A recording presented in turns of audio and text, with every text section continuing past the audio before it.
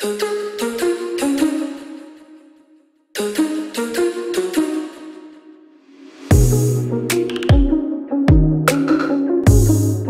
is up guys? Welcome back to another video and I don't know for sure but hopefully we're going to be getting two new zebra loaches for the hexagon tank which is this tank right here.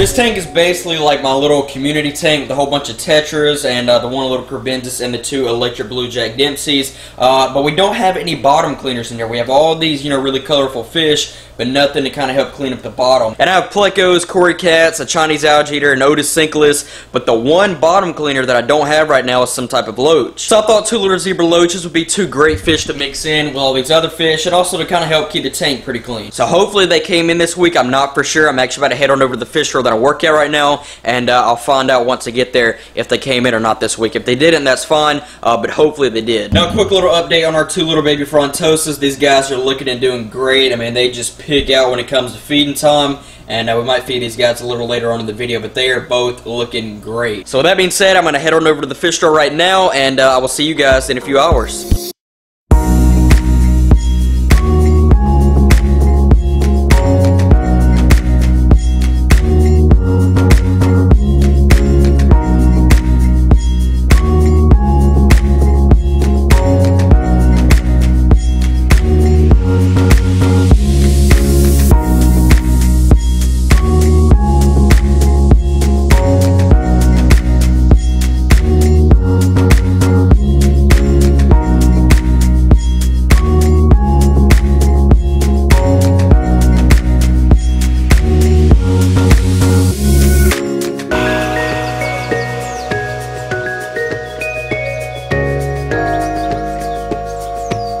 Check it out. We actually did get the two little zebra loaches in, but they're super tiny, a lot smaller than I thought they would be. You can see them right in there, and I mean, they are small, but they've got some decent color to them, and uh, they're pretty cool. looking. By the way, that's little baby peacock bass right there, but we're not going to put these guys straight into the octagon tank, or hexagon tank, I should say, because I'm a little worried about the electric blue jack Dempsey possibly trying to eat them.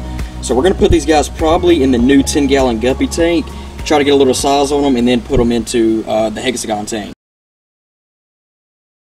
So I'm now back and uh, I think actually what I'm going to do is actually put them in the endler tank for the time being. Not for very long because I want to get them in the hexagon tank as soon as I can. But I'm just a little weary of putting them in there right now because, like I said, the bigger electric blue jack Dempsey, he has eaten fish before. He's not an aggressive fish or nothing, but if he sees a fish that he thinks he can eat, believe me, he's going to try. I was thinking about putting them in the newest guppy tank, but it's only been set up for a few days, even though the Eco Complete substrate along the bottom had live bacteria in it. Uh, I still want to let this tank cycle for a little bit longer before I put any fish in there. So I think for the time being, I'm just going to put them in this guppy tank, uh, but yeah, you can probably get a better look at them now and uh, they're they're pretty cool. But you know, I was not expecting them to be this tiny. Uh, but you never really know what you're going to get when you order fish. But I think it'd be pretty cool having these guys in here for at least a little while, along with the two little panda cories. And you know, I'm really just trying to fatten these guys up a little bit, maybe get like a half an inch to an inch on them, and then go ahead and put them in the hexagon tank. There's one of the little panda cories right there. But all the guppies and endlers are all doing really, really good. And by the way, these guys are going to pose no threat whatsoever to the babies.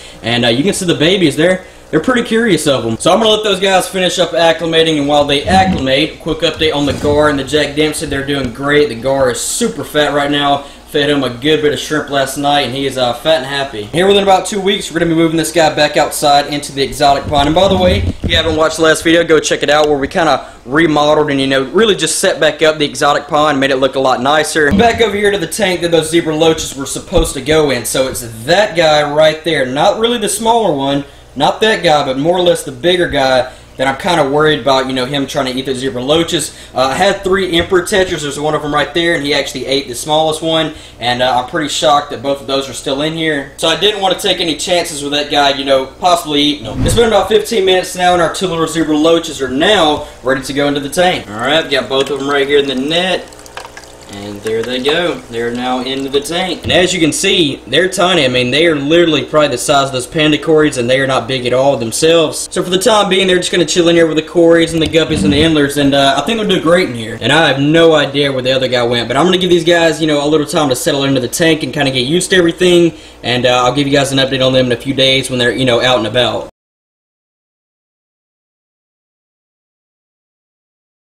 So it's been about three days now since I got the two little zebra loaches, and uh, they've started to come out a lot more. I don't see one as much as I do the other one, but right there is actually one of them, and I've noticed that he kind of likes to chill with the panda cories. Like I said, the other one doesn't come out quite as much, uh, but they've definitely, you know, really colored up a lot more now that they've been in the tank for a few days. But yeah, check that little, check that guy out.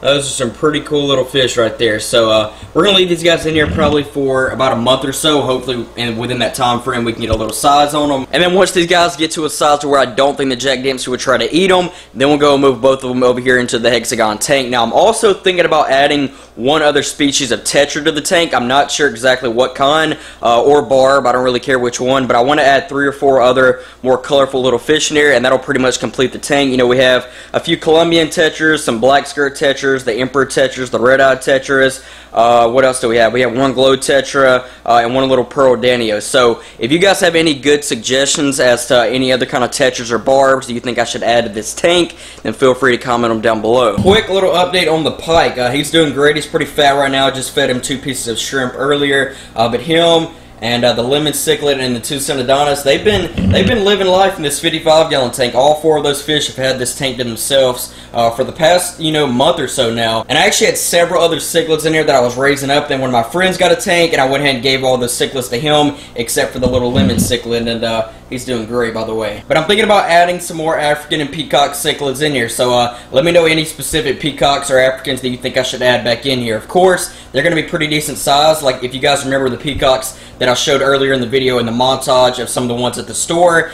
It'll be about that size. I have to get them that size now because if I get them any smaller, the pike cichlid will of course try to eat them. But the same thing with the hexagon tank. If you guys have any Africans or peacocks in mind that you think would look good in here, then let me know. That's going to pretty much do it though. I hope you guys did enjoy today's video. And if you did, don't forget to drop a like down below. Hit that subscribe button if you're new to the channel. And uh, we're getting some pretty cool itty bitty things in the next video. I think you guys are going to really, really like them. So stay tuned. And with that being said, you guys, I'll catch you guys in the next video. Peace!